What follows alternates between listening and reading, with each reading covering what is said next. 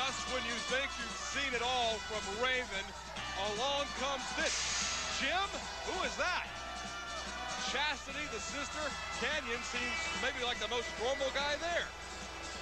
Oh, that's a stretch, isn't it? Really? Canyon, the most normal guy. we certainly had our eyes open as far as Raven goes with the fact that we were allowed to have a camera in West Palm Beach, Florida, at the home of Mrs. Levy. Yeah. Scott, as she calls Raven. Scotty. Scotty. Yeah. Refused treatment. Refused to go back to the institution. But what is the story behind Raven and Rowdy Roddy Piper? I don't know. We saw the mysterious, I don't know if you call them hidden pictures, posters, old wrestling magazine posters of Rowdy Roddy Piper that Raven had hidden out in the uh, in the garage. Well, you have wrestling magazines in your garage, don't you? Tons. But they're not put way up in the top of the closet. I break them out every now and then. Look at Mike today as a young 12-year-old cheering on the Blonde Bombers there at the uh, L.A. Coliseum. Olympic Auditorium, actually. Oh, the Olympic, that's right, with Jimmy Lennon. Los Angeles, California. Did you know that World Championship Wrestling, how's this for a segue? Perfect. Is going to be back in Los Angeles one week from tonight, January the 30th. We're back at the Great Western Forum, and tickets are available at the Great Western Forum box office and Ticketmaster.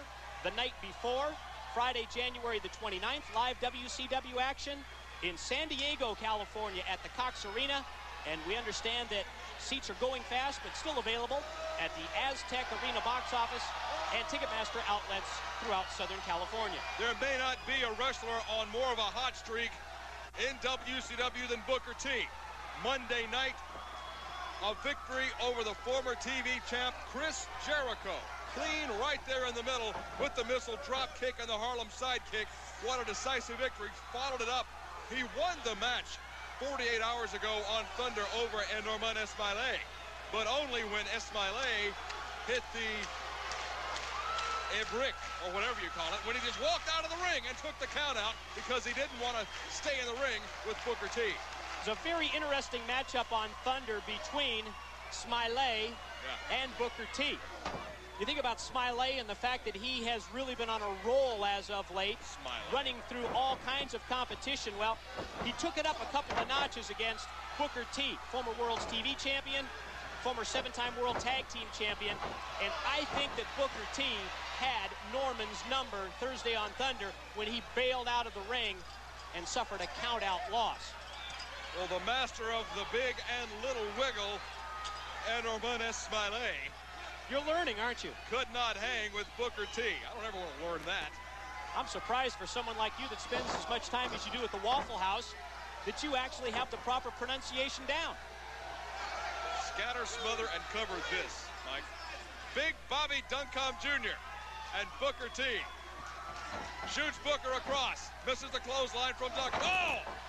Forearm just nailed Duncum. I'm just curious. Have you ever gone into the Waffle House and ordered salmon and eggs? Booker T shoots Duncum across.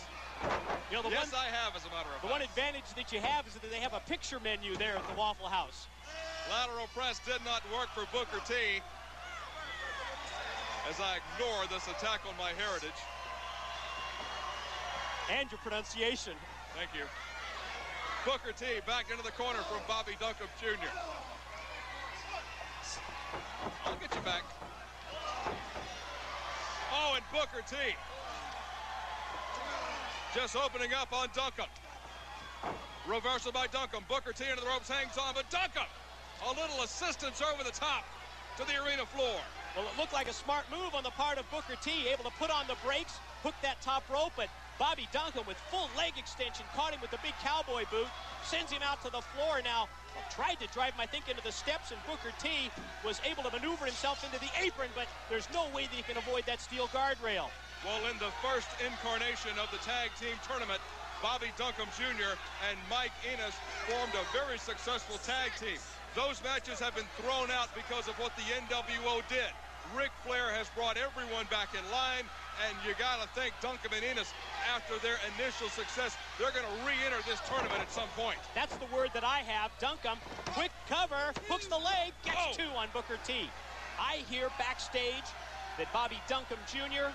and Mike Enos are going to be a part of that restructured double elimination World's Tag Team title tournament. Good. Ric Flair reinstated it Thursday on Thunder. One thing we do know, we'll be seeing tournament matchups evolve over the course of the next couple of weeks. I'm sure here on Saturday night as well as on Nitro and Thunder. But we're all building to Super Brawl because that's where the tag tournament final will take place February the 21st on pay-per-view. Back press from Booker T. Only got the one count on Bobby Duncum Jr. Duncum, such an impressive athlete in there. And his team with Mike Enos, I got to tell you, you know, the, the cowboy and the just raw bones brawler that that team encompasses reminds me a lot of like the old Outlaws with Dusty Rhodes and the late, great Dick Murdoch, or maybe Stan Hansen and Ole Anderson. That type of teamwork, I got to think that Duncum and Enos are going to be favorites of some people as we head into the tournament one more time. I look at them as we see Duncum come Oh. off the middle ropes and get a two count.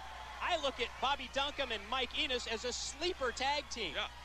Now, the fact that they haven't tagged a lot, just a handful of matches, is going to be a detriment. But when you think of all the tag team experience that Mike Enos has had, quick roll up by Booker T, and another two count from our referee, Mickey J. Mike Enos, for the better part of a decade, has primarily been a tag team wrestler. Who better to form a team with Bobby Duncum than Mike Enos, and they are a force to be reckoned with in the ongoing tournament. Rear chinlock now on Booker T from Bobby Duncum Jr. And Booker T, I don't think we'll see him in the tag team tournament. Booker T, a single superstar here in WCW. Think the days of his tag team with his brother Stevie Ray. Oh, hang on. Half cradle, only got the two count on Booker T. But Booker T, not back to his feet quickly at all. Not at all, period. And I am Still still. I'm still convinced that Big Brother Stevie Ray is still very jealous of all the success that Booker T had as a singles competitor. Remember when Stevie Ray was on the shelf with the injury? Oh, yeah. Booker T really broke out of the pack as a singles wrestler, made a name for himself as a superstar, winning that World's TV title. And I know that that still sits in the craw of Big Stevie Ray. Oh, yeah. And it's not like they were just tag team partners. They're brothers. They grew up together. The playground fights, you name it. The jealousy even more intense because it's your brother that broke apart from the pack and left you in the dust. Duncum sets Booker T up. A couple of knees into the gut, trying to soften him up, shoots him across into the ropes. Misses the clothesline. Oh, Booker into the gut. Into the ropes himself. Here we go. Oh! The axe kick from Booker T. Incredible impact delivered with authority to the back of the head. Takes Bobby Duncum down. But look at him come back up fighting. There's a lot of fight left in Bobby Duncum. He has taken so much punishment, but fights on with Booker. Reversal, Duncum into the ropes. Here we go. Shoulder high from Booker T. A variation of the flapjack from Booker T on Bobby Duncum. Uh-oh. We might be getting ready to raise the roof here on TBS. Sets him up. Shoots Duncum across. Waits on it. Here we go. Yeah, another variation of the flapjack. A little break dance up from Booker. Oh, Harlem sidekick, and I think now we're going to raise it. Let's take the roof off on Saturday night. Booker T is going to go up top. Big Bobby Duncum. Oh. Oh, cut him off. What a, what a great move by Duncum. I'm not sure whether he knew what he was doing as he fell back against the rope, but it sure worked out for him. Off the top, he's going to try and superplex him back into the ring, but look at Booker T fight him off. Oh! That's a long way to fall for big Bobby Duncum Jr. Missile drop kick from Booker T. That connected right on the button. Lateral press and he got the three, and Booker T is on a roll. Excellent recovery by Booker T.